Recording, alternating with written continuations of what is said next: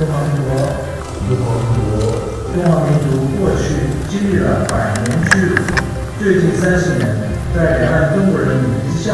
一步一步迈向共同振兴中华之路。两岸的中国人绝对有足够的智慧，和平处理两岸争端，避免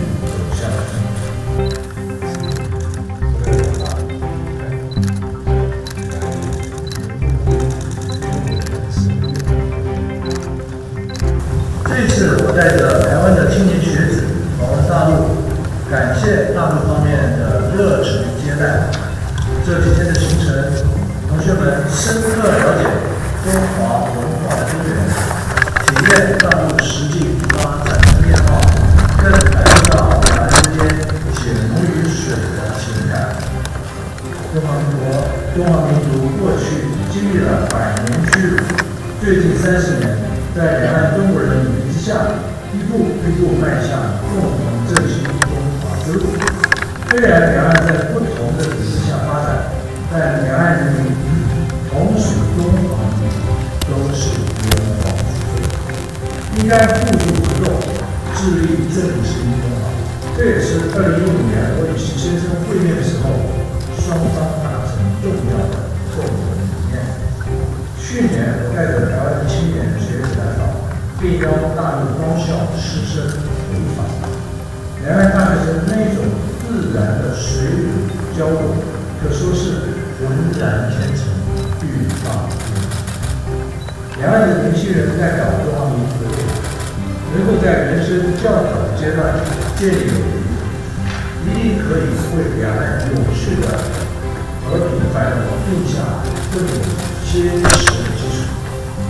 看着两岸青年学者眼里的热情善意，我进一步思考到中华对台湾来说，没有稳定和平的两岸，就没有安定进步的台湾；对中华民族来说，没有和平繁荣的两岸，也不会有璀璨光明的未来。我诚挚的希望，双方都应该重视人民真实的价值与生活方式，维护两岸和平，以中华文化蕴含的智慧，确保两岸互利双赢。对于两岸情势紧张，引发不少台湾民众不安，但是我始终记记得鲁迅先生说过：“渡尽劫波兄弟在，相逢一笑泯恩仇。”两岸如果发生战火，对中华民族都是不可承受的重负。两岸的中国人绝对有足够的智慧，和平处理两岸争端，避免走向冲突。两岸在一九九二年达成，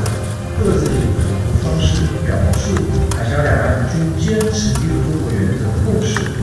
未来两岸应该以确保人民福祉为最大目标，